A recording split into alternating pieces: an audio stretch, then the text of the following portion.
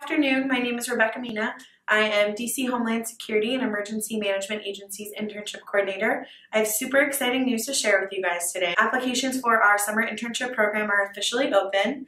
We are looking for highly qualified undergraduate and graduate students um, who are interested in the fields of emergency management, homeland security, and intelligence.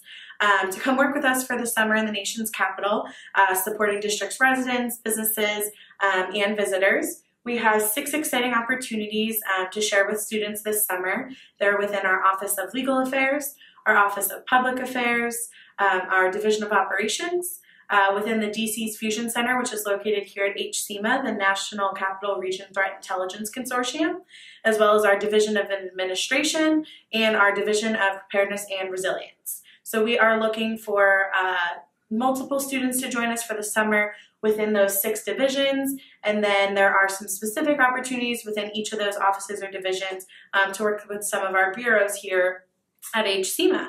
Um, so like I mentioned, applications close on March 9th, 2020 um, at 11.59 p.m. Um, feel free to visit our internship uh, website, hsema.dc.gov slash intern for more information on our um, application process, the eligibility and requirements, um, as well as some more uh, outlined details on the program and what you could expect if you were to be selected for an internship within each of these six divisions or offices. So we look forward to seeing your applications and if you have any questions let us know um, and we hope that you choose Team HSEMA for summer 2020.